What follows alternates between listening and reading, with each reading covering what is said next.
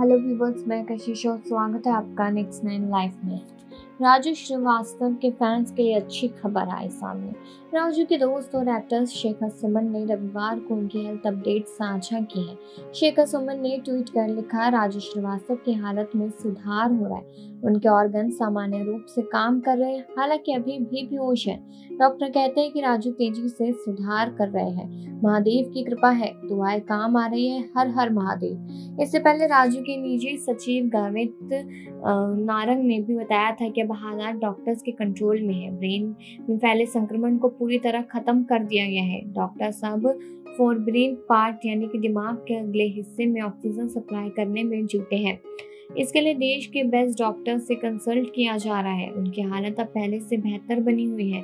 राजू श्रीवास्तव के फैंस के लिए अच्छी खबर है। राजू के दोस्त और एक्टर शेखर सुमन ने इस तरीके के ट्वीट कर यहाँ पर अपने सारे दोस्तों को काफ़ी बड़ी खुशखबरी दी है। लेकिन बताते चले आपको कि यहाँ पर इस खुशखबरी से अब फैंस तो खुश है ही, साथ ही साथ परिवार भी काफ़ी ज़्यादा संतुष्टि महसूस कर रहा है। आपकी क्या राय है? कमेंट सेक्शन में ज़रूर बताएँ बाकी खबरों के लिए देखते रहिए नेक्स्ट टाइम लाइव